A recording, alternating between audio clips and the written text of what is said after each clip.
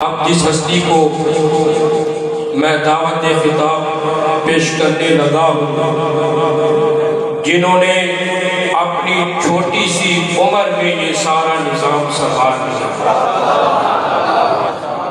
اور اپنے وابستہ لوگوں کو یہ بتایا کہ اے، اس آستانے پہ وابستہ لوگوں، پریشان نہ ہو۔ بلکہ یہ دیکھو کہ پیر انوار پھر زندہ ہو کر واپس آتا ہمارا یہ عقیدہ ہے، ہمارا یہ ایمان ہے کہ وہ ادھر سے نظر کرم فرما رہے ہیں یہ ادھر سے ہمیں جھولیاں بھر کے بھر کے عطا فرما رہے ہیں۔ تو میں جس ہستی کو دعوت خطاب پیش کرنے لگا ہوں آل نبی، اولاد علی میرے پاس الفاظ نہیں، لیکن انہوں نے مجھے چن لیا۔ کچھ چھوٹے پھوٹے الفاظ کے ساتھ میں دعوت کی کتاب پیش کرنے لگا ہوں۔ آل نبی، اولاد علی، شہزادہ غوث البرا جگر گوشہ غوث البرا جگر گوشہ بطول جگر گوشہ کاشف، پیر طریقت رہبار شریعت، حضرت پیر سید شمس السنجا گلانی دعوت برکات العالیہ۔ آپ آئے دعوتی کتاب سے ہمارے دلوں کو منور فرمائے۔ کس شیر کی آمد ہے کہ رن کاپ رہا ہے؟ کس شیر کی آمد ہے کہ رن کاپ رہا ہے۔ رستم کا جگر زیر کفن کاپ رہا ہے۔ شمشیر وقف دیکھ کے حیدر کے پسر کو جبرائیل لرستی ہے سمیٹے ہوئے پر کو۔ تو دعوتی کتاب حضرت پیر سید شمس رسل شاہ گیلانی۔ اللہ اکبر۔ نعرہ رسالہ نعرہ رسالہ نعرہ حیدری آستانہ علیہ بچہ شریف سارے حضرات اپنی اپنی جگہ پہ تشریف رکھیں مہربانی فرما کے اپنی اپنی جگہ پہ تشریف رکھیں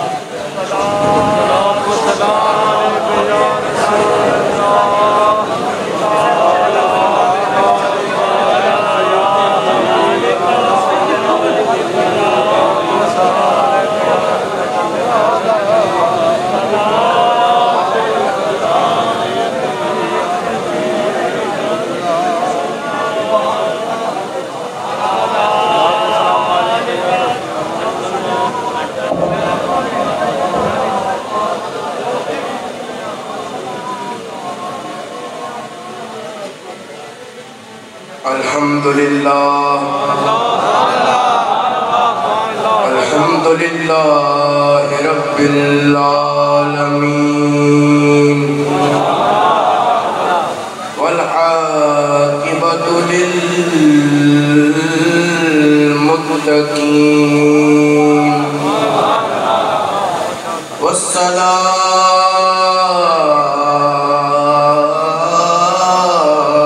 والسلام عليك يا سيد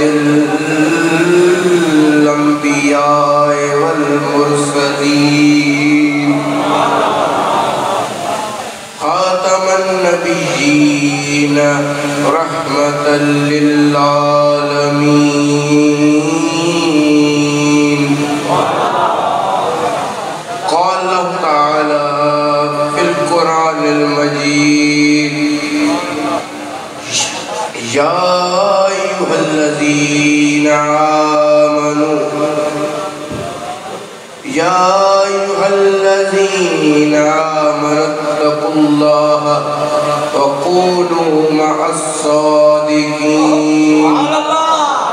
صدق الله العظيم وصدق رسوله النبي الكريم. إن الله وملائكته يصلون على النبي يا أيها الذين صلوا عليه وسلموا تسليما. السلام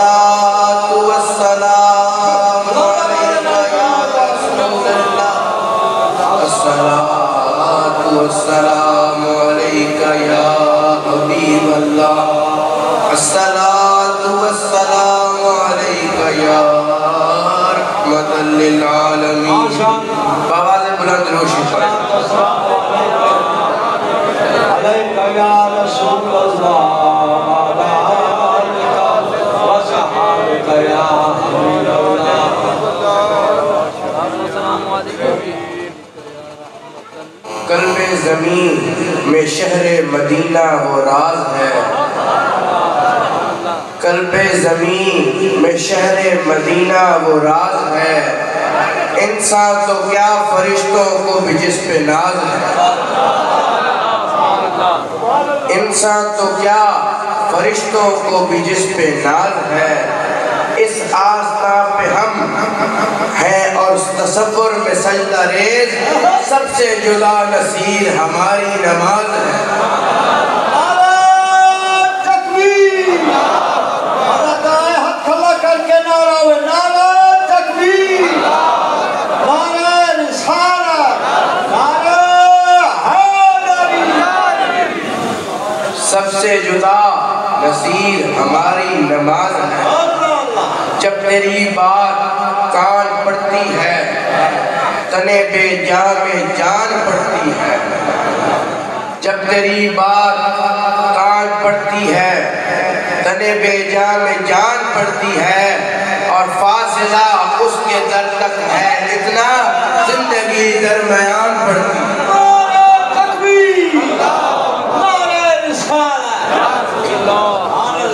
اس میں گرامی جو شرف لوح و قلم ہے وہ دل پہ رقم، دل پہ رقم، دل پہ رقم ہے۔ اس میں گرامی جو شرف لوح و قلم ہے، وہ دل پہ رقم، دل پہ رقم، دل پہ رقم ہے۔ اور دیتا ہے جو منزل کا پتہ اہل طلب کو، وہ ان کا قدم، ان کا قدم، ان کا قدم اور مجھ جیسے گناہگار پہ اس درجہ عنایت یہ ان کا کرم ان کا کرم ان کا کرم اللہ اللہ اللہ ان کا کرم یوں عقدہ کھلا کہ کسی سے کھولا نہ گیا یوں عقدہ کھلا کہ کسی سے کھولا نہ گیا، اسرار کو نات کے پہ تولا نہ گیا محسوس ہوا راز تو چھیڑی بحثیں محسوس ہوا راز تو بولا نہ گیا۔ زندگی اور سر سے لے کر پاؤں تک تنویر ہی تنویر ہے۔ سر سے لے کر پاؤں تک تنویر ہی تنویر ہے۔ گفتگو سرکار کی، قرآن کی تفسیر۔ سوچتی ہے، دل میں دنیا مصطفیٰ کو دیکھ کر مصور کیسا ہوگا جس کی یہ تصویر ہے۔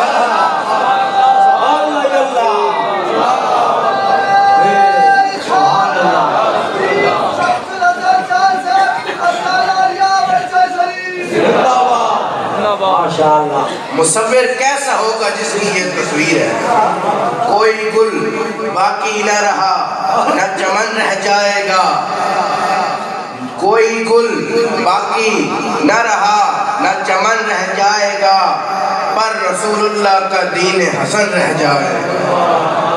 سب فنا ہو جائیں کافی لیکن حشر تک نعت حضرت کا زبانوں پہ سخن رہ جائے۔ ابرو کی ایک انتباہ سے ملتی ہے۔ دنیائے نظر کی راہ سے ملتی ہے۔ ابرو کی ایک انتباہ سے ملتی ہے۔ دنیائے نظر کی راہ سے ملتی ہے۔ تدریس یہاں کی نہیں محتاج حروف تعلیم یہاں نگاہ سے طیبہ سے منگائی جاتی ہے۔ سینوں میں چھپائی ہے کی میں ساگر سے نہیں، نظروں سے پلائی جاتی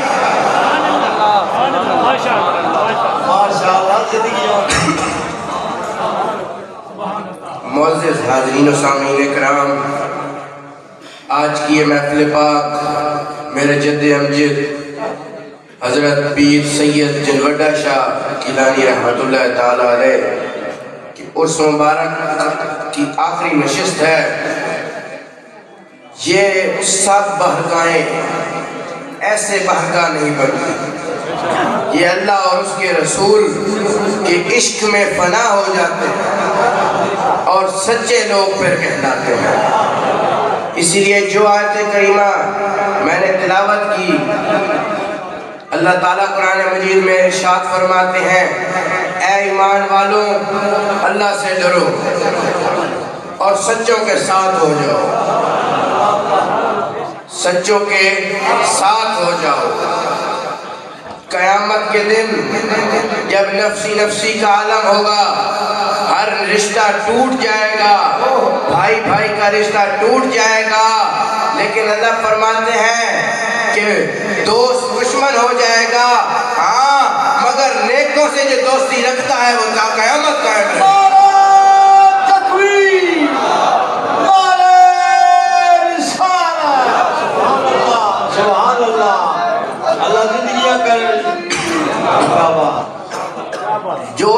سے ان کا لڑ پکڑ لیتا ہے۔ قیامت کے دن بھی یہ ان کو اپنے ساتھ رکھتے ہیں سچوں کی صحبت، انسان کو کاسا بھی ہو، ناقص بھی ہو تو کامل بنا دیتی ہے۔ لیکن اس میں رکاوٹ جو ہے، وہ شیطان ڈال دیتا ہے۔ جو ہمیں سچوں کے پاس بیٹھنے نہیں دیتا۔ اب اگر آپ کو کوئی کہے کہ فلانی جگہ پہ آپ کا دشمن بیٹھا ہے، تو آپ یا اس کی بات پہ ہنسو گے یا سو فیصد اس پہ یقین نہیں کرو گے کہ وہ بیٹھا بھی ہے یا نہیں۔ شاید یہ بھی ہے کہ آپ کے جانے سے پہلے وہ اٹھ جائے، لیکن شیطان وہ دشمن ہے کہ جس کا اللہ اور اس کے رسول نے بتایا ہے کہ جہاں تم نیک کام کرو گے یہ بات تم دخل نہیں سبحان اللہ سبحان اللہ ماشاء اللہ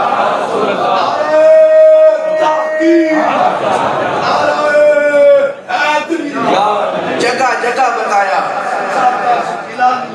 جگہ جگہ بتایا کہ تم سچوں کے پاس بیٹھو گے تو تمہیں تنگ کرے گا۔ تم حتیٰ کہ یہ عالم ہے کہ شیطان وضو سے لے کر نماز تک بھی نہیں ہمیں چھوڑتا۔ جب ہم وضو کرتے ہیں، اس وقت جو ہمیں شیطان وضو سے ہٹاتا ہے، دھیان اور طرف لگاتا ہے، ترمذی شریف میں اس کا نام بلحان ہے۔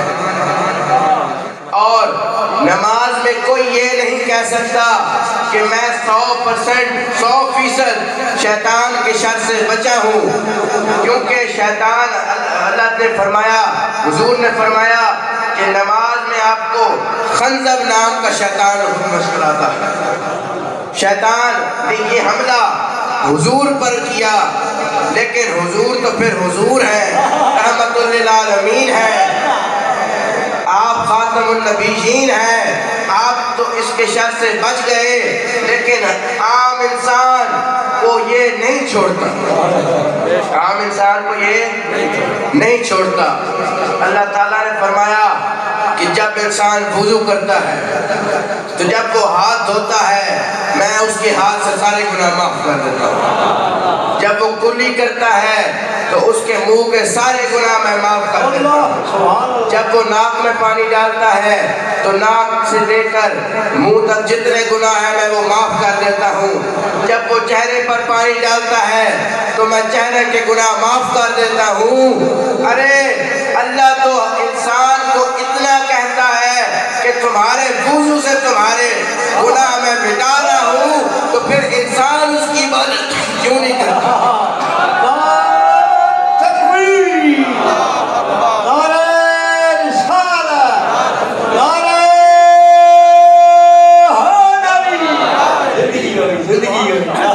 ہر کرنے سے جب خدا گناہ معاف کر دیتا ہے، تو پھر انسان اس کی عبادت کیوں نہیں کرتا؟ جس کے وضو میں اتنا ثواب ہے، اس کی نماز میں کتنا ثواب ہوگا؟ شیطان کا تعلق سیدھا روح سے ہوتا ہے۔ روح کا تعلق سی ایمان اور اعمال سے ہوتا ہے۔ جب شیطان روح کو پکڑ لیتا ہے بندے کا ایمان بھی چلا جاتا ہے اور اعمال بھی چلے جاتا ہے۔ کیونکہ جب یہ اندر جاتا ہے تو پھر کہیں میں بغض علی پیدا کر دیتا ہے، کہیں میں بغض حسن پیدا کر دیتا ہے۔ کیوں دشمنی ہے تجھے؟ علی اور حسین سے کبھی فرصت ملے تو پوچھ والدین سے۔ حضرت مولا کائنات، آپ کی سخاوت کا کیا کہنا؟ حضور کے ایک صحابی نے عرض کی کہ یا علی فلانا بندہ ہے ہر فقیر کو ستر دروازوں سے دیتا ہے۔ ستر دروازوں سے وہ پیسے دیتا ہے۔ تو وہ کتنا سخی ہے آپ دیکھیں۔ تو حضرت مولا کائنات مسکرائے اور فرمایا ابھی بھی یہ کنجوس ہے۔ ابھی بھی یہ کنجوس ہے عرض کی یا علی کیسے آپ نے فرمایا کہ اگر یہ سخی ہوتا تو ستر کی نوبت ہی نہ آتی پہلے میں اتنا بھر دیتا کہ بہت کہنے کی نوبت ہی نہ آتی ہاتھ کھڑا کر کے آوے نانا نالے مثال نالے حیدری واہ جی واہ سبحان اللہ پہ- پہلے دروازے میں اتنا دیتا کہ ستر کی ضرورت ہی نہ پڑتی۔ یہ سخاوت ہے۔ ان سے بغض کیوں رکھتے ہو؟ جن کے بارے میں حضور نے فرمایا، علی کو دیکھنا عبادت ہے۔ علی کا ذکر عبادت ہے۔ اور میں شہر علم ہوں، علی اس کا دروازہ۔ جس نے علم حاصل کرنا ہوتا ہے، پہلے وہ دروازہ کھولے گا تو شہر میں جائے گا نا۔ جو بغض علی کا دل میں ہوگا تو دل صاف ہے، تو پھر اللہ وہ علم عطا کرتا ہے کہ دنیا اس کی مثالیں دیتی ہے ماشاء اللہ قیامت کے روز جب حضور سب کی شفاعت کرا رہے ہوں، سب کو پار لگا رہے ہوں لجپال کرے۔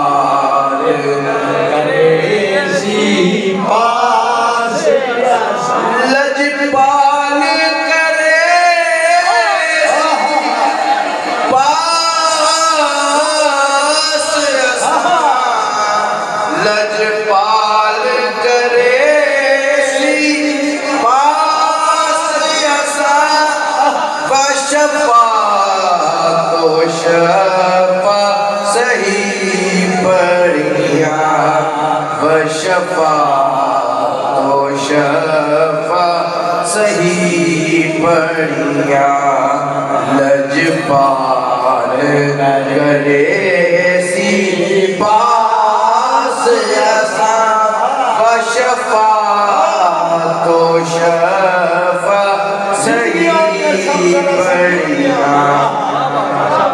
تو جب حضور سب کو سنبھالے ہوں گے، تو شیطان پاس کافر جائیں گے کہ اب تم نے ہمیں بچانا ہے، ہم نے تمہاری مان کے رسول اللہ کا دین قبول نہیں کیا، اب تم ہماری سفارش کرو کہ اللہ ہمیں بھی جنت میں جگہ دے سفارش کرو۔ تو شیطان نے کہے گا کہ مجھے اللہ نے یہ نہیں کہا تھا کہ تم نے سفارشیں کرانی میں تو تو تم لوگوں کو گمراہ کرنے آیا تھا، وہ تم ہو گئے۔ اب تم جانو اور تمہارا کام یہ خوش قسمتی ہے کہ ہم امت مسلمہ سے ہم امت محمدیہ ہیں۔ حضور اپنی امت کو وقت حشر سنبھالے ہوں گے اور جو شیطان کے جیلے ہیں، وہ ایسے ہی بھٹک رہے ہیں۔ حضرت خواجہ حضرت خواجہ فرید کوٹ مٹن شریف۔ آپ کے مرید تھے نواب آف طالبہ آپ کے پاس ایک شخص آیا۔ ان کے پاس نواب صاحب کے پاس کوئی کام تھا۔ کام نہ کیا تو وہ بندہ گیا اور بابا صاحب کی بھرگاہ میں عرض کی کہ یہ دیکھیں حضور، میں کام لے کے گیا تھا۔ آپ کے مرید نے میرا کام نہ کیا۔ آپ نے اس کاغذ ایک کاغذ پہ ایک جملہ لکھا اور کہا یہ جا کے اس کو دے دینا انہیں بند کیا، آپ گئے۔ انہیں کاغذ دیا تو رونے لگ گئے۔ سارا کام ان کا کیا۔ انہوں نے کہا آئندہ جب آؤ، مجھے ڈائریکٹ کہنا، میں تمہارا خود کام کرنے جاؤں۔ جب پوچھا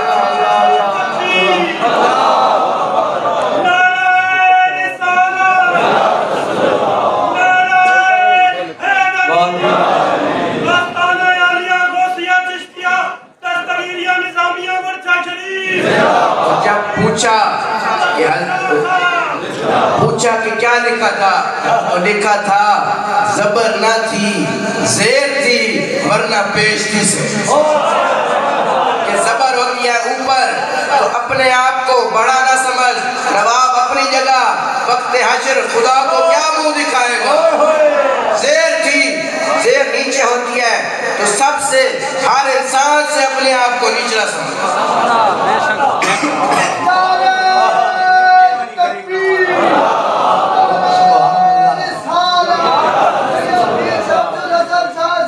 اولیاء شیئر کرنا دوبارہ یہ سمجھے نہیں رہا بھی لگا زبر تھی زیر نہ تھی زبر نہ تھی زیر تھی ورنہ پیش تھی۔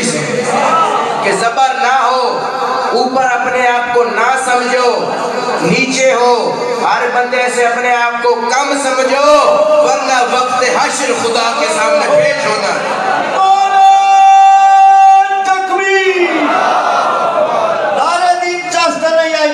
تکلیف پہ کرنے۔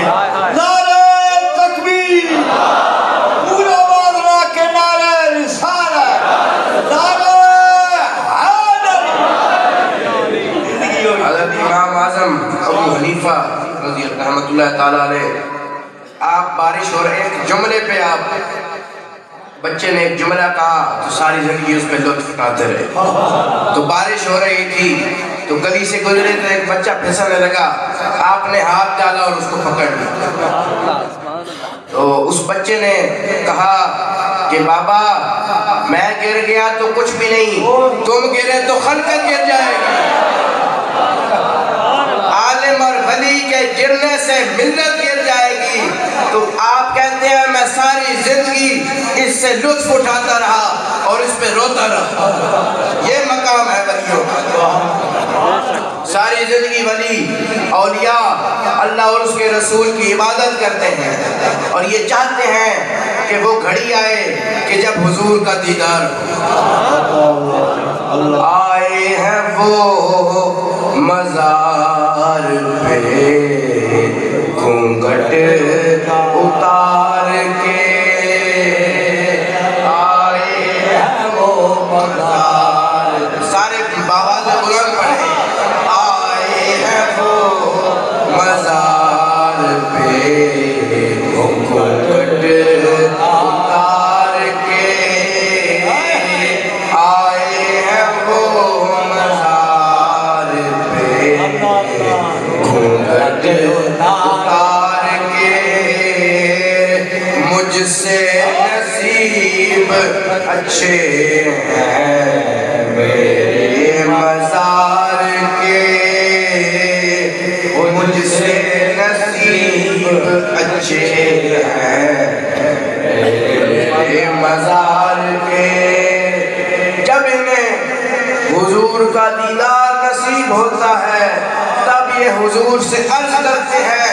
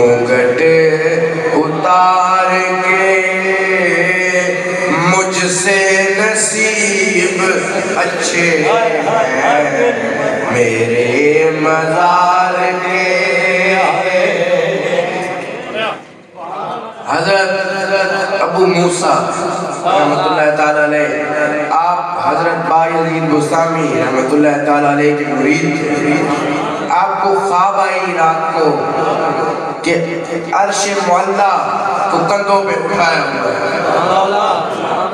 لوگوں نے عرش معلہ کو کندھے پر اٹھایا ہوا ہے۔ تو آپ اٹھے تو آپ نے کہا، صبح جا کے اپنے پیر سے پوچھوں گا اس کی تعبیر۔ صبح جا کر پوچھوں گا تعبیر۔ صبح جب نکلے تو دیکھا کہ ہر جگہ رونے کی آوازیں ہیں۔ مینا خاموش جام خفا سونی پڑی ہے محفل زندہ تیرے بغیر۔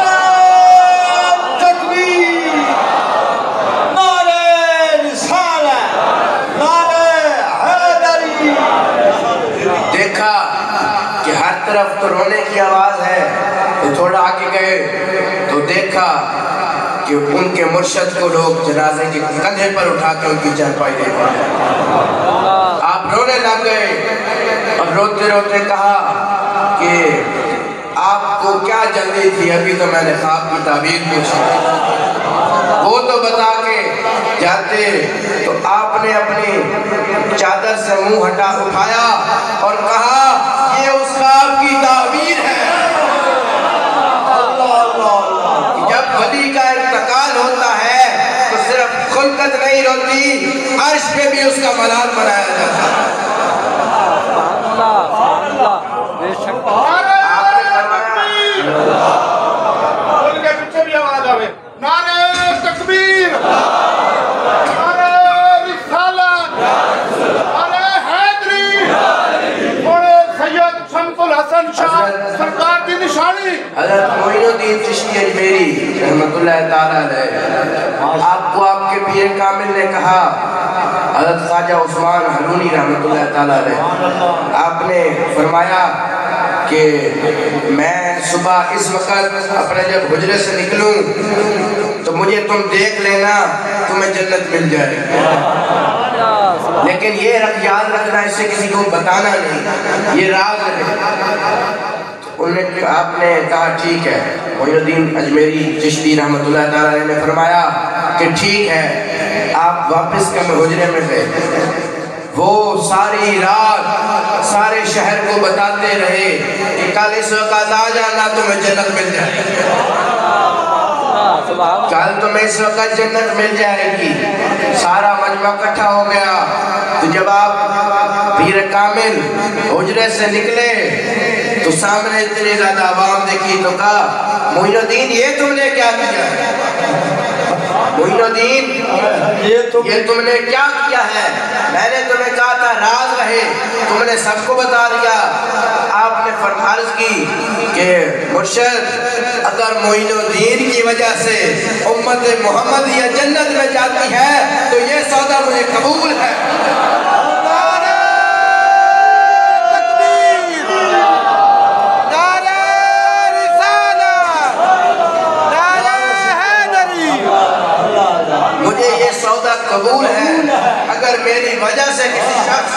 کو کسی مسلمان کو جنت ملتی ہے۔ تو آپ کے مرشد نے مسکرا کر فرمایا کہ معین الدین تم تو بہت غریب نواز ہو۔ بس اس دن سے آپ کا یہ لقب غریب نواز شروع۔ حضرت سلطان باہو رحمت اللہ تعالیٰ علیہ سے ایک رستے میں برات جا رہی تھی۔ وہ عبادت کر رہے تھے جنگل میں کہیں رستہ بھٹک گئے۔ تو آپ سے پوچھا کہ سائیں احمد پور جانا ہے۔ سائیں احمد پور جانا ہے۔ رستہ بتائیں۔ آپ نے کہا ٹھیک ہے میرے پیچھے آئے میں لے جاتا ہوں۔ بوال قرآن سبحان اللہ کہہ کہ میرے پیچھے آؤ، میں لے جاتا ہوں۔ آپ نے کہا آنکھیں بند کرو۔ اور قدم چلاؤ۔ تھوڑی دیر بعد آنکھیں کھولی تو مدینہ شریف نظر کہا، یہ تم کہاں لے آئے؟ وہ ہندو تھے۔ انہوں نے کہا، یہ تم کہاں لے آئے؟ انہوں نے کہا سائیں میں یہی احمد پور جانتا ہوں۔ اس کے علاوہ مجھے اور احمد پور کا نہیں پتا، یہی میرا احمد پور ہے۔ حضرت باجری رحمت اللہ تعالیٰ علیہ نے حج کے لیے رقم جمع کی۔ تو جب نکلے تو رستے میں فقیر تھا، اس نے اللہ کے نام پر مانگا آپ نے سارے حج کے پیسے۔ حج پہ نہ گئے۔ جو حاجی تھے جن نے حج کیا، وہ سوچ رہے تھے اپنے کی بیت اللہ میں کھڑے ہو کے کہ اس دفعہ پتہ نہیں اللہ کس کس کا حج قبول کرتا ہے۔ اس کی مرضی جس کا قبول کرے اس کی مرضی نہ کرے۔ آواز آئی غیب سے کہ سن لو تمہارا سب کا حج قبول ہے صرف یزید مستعمل کی وجہ سے۔ ایک ولی کی وجہ سے اللہ نے لوگوں کا حج قبول کر یہ مقام ہے اولیاء کا ماشاءاللہ حضرت خواجہ شاہ سلیمان توسوی رحمت اللہ تعالیٰ علیہ۔ آپ کے جو کھیت تھے جو باغ تھا اس میں ایک شخص اپنی بکریاں لے کر آتا اور چلا کے چلا جاتا۔ آپ نے کہا یہ تو ہمیں نقصان دے رہی ہے۔ ایک شخص کو مقرر کیا کہ تم اس کی دیکھ بھال وہ رات کے پہرا کرتا اور لیٹ جب سب سو جاتے تھے۔ تو وہ آئے، ان نے چرپائی بچھائی۔ آ بیٹھے رہے، وہ بندہ جن کو مقرر کیا تھا۔ آنکھ لگ گئی، وقت ایسا آیا۔ وہ پھر آیا، اس نے تین کا بکریاں چرا لی۔ ایک دن ایسا ہوا، دو، تین دن جب ہوا، تو آپ نے کہا، اب تم بیٹھو، میں خود جاتا ہوں۔ اپنی جانماز بچھائی اور اللہ اللہ کرنا شروع ہو گیا۔ جب وہ پہر آیا، وہ کیونکہ عادی تھا، اس کو عادت تھی آنے کی، وہ پھر آیا۔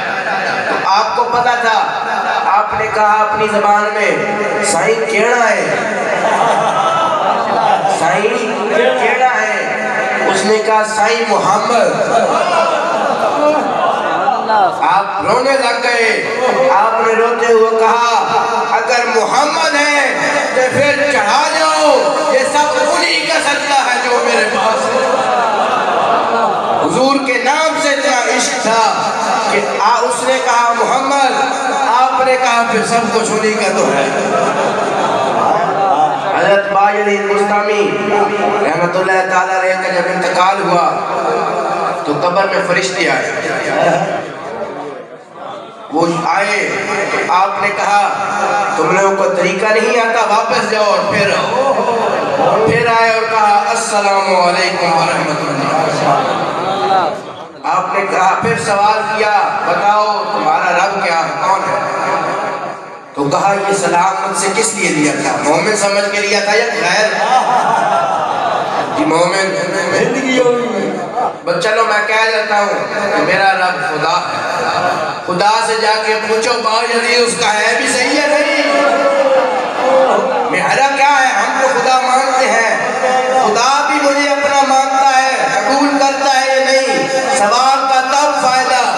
یہ ہو جب خدا قبول کرے تو فرشتے اٹھے اور پھر واپس گئے اور اللہ کی بارگاہ میں عرض کی کہ اے خدا، سوال ہم کرتے ہیں، اس نے ہم پر کر دیا۔ اب کیا کریں؟ تو اللہ نے فرمایا کہ یہ بخشا ہوا ہے، اسے چھوڑ دو، یہ میرا محبوب ہے، اس نے میری مدد۔ اللہ والوں کے پاس آنے والوں، در ایک رکھو۔ ایک در رکھو اور اپنا عقیدہ درست کرو۔ اللہ تعالیٰ ہمارا آنا قبول فرمائے۔ دوران گفتگو اگر کوئی غلطی ہوئی ہو تو اللہ معاف فرمائے۔ آخر دعوان الحمدللہ۔ نعرہ تکبیر۔ نعرہ رسالت زندگی ہوئی زندگی ہوئی